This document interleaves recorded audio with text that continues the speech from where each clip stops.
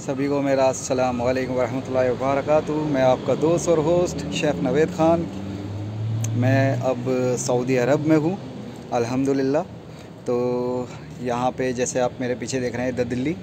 ये Indian restaurant है और मैं आपको अपना रेस्टोरेंट दिखाऊँगा अभी। ये जी नाम है मेरे रेस्टोरेंट का, फ्यूजन क्यूजीन है। और इसको ऑपरेट मैं करता हूँ यहाँ पे फ़िलहाल के लिए। आ, मैं आपको अभी पूरा उसका लेआउट दिखाऊँगा और बताइएगा। प्लीज़ कमेंट शेयर कीजिएगा कि आपको ये मेरा कैसे लगा और रेस्टोरेंट कैसा लगा सेटअप कैसा लगा डाइन इन कैसा है। प्लीज़ आप मुझे ज़रूर बताइएगा आप थोड़ा सऊदी का नज़ारा कर लीजिए। ये देखिए ये सऊदी अल खोबर है शहर सिटी ट्वेंटी फाइव। ये मेरे पीछे जो आप देख रहे हैं ये ईजी है। ये जो आप देख रहे हैं ये ईजी रेस्टोरेंट है। आ, इंडियन स्टाइल रेस्टोरेंट है। आ, थीम कह सकते हैं। अंदर चलते हैं। ये मेन एंट्रेंस है। अभी ईद का फेस्टिवल है तो कोई इतना ज़्यादा कस्टमर नहीं है। ओके यहाँ पे होस्ट बैठते हैं लड़की बैठती हैं यहाँ पे। ये हमारा स्टाफ ये थोड़ा वेटिंग एरिया है हमारा लॉज कह सकते हैं इसको।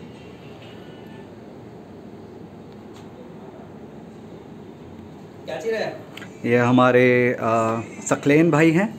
हाँ ये यहाँ पे आ, वेटर हर मतलब ये यहाँ पे हेड समझ लो वेटर वे सारी चीज़ें इन्हीं के कंधों पर है पूरे रेस्टोरेंट की। His name is Mohammed Abdullah he is from Philippine he is from Philippine and his Jacob what? June. June. June. He is June. He is from also Philippine. And ये हमारा थोड़ा वॉकिंग एरिया है ये थोड़ा Indian style है तो यहाँ पे इन्होंने फ्रूट्स वगैरह रख रखे हैं इधर हमारा ये किचन है अभी किचन अंदर से दिखाएँगे डाइनिंग दिखाते हैं ये पूरा डाइनिंग एरिया है ये जी नाम है इसका रेस्टोरेंट का और ये थोड़ा मतलब इंडियन फ्यूजन किजीन हम सर्व करते हैं। इसमें अरबिक कॉन्टिनेंटल इटालियन ये सारी चीज़ें हम इधर सर्व करते हैं। और मतलब फ्यूजन है तो इटालियन कॉन्टिनेंटल ऐसा टेस्ट होता है और अरबिक और इंडियन टेस्ट देते हैं हम इसमें। ये डाइनिंग एरिया है। इधर भी है थोड़ा। ये तो हमारा डाइन इन हो गया। ओके ये थोड़ा इन्होंने अरबिक स्टाइल अरबिक स्टाइल थोड़ा दे रखा है और थोड़ा इजिप्शियन और यहाँ के ज़रा तरबूज देख लीजिए, कितने बड़े बड़े होते हैं। कम से कम दस किलो का ये वाला है और ये लगभग बीस से पच्चीस किलो का है। फ्रूट्स बहुत बड़े होते हैं। ये ये ये है mister जैकूब he is a bar मतलब कॉफ़ी बार चलता है, यहाँ पे बार नहीं होता। कॉफ़ी है। ओके ये हमारा कॉफ़ी बार है। यहाँ हम नॉन एल्कोहलिक ड्रिंक सर्व करते हैं कॉफ़ी एंड ऑल थिंग ये इसका एरिया है। ओके ये पूरा एरिया है इसी का।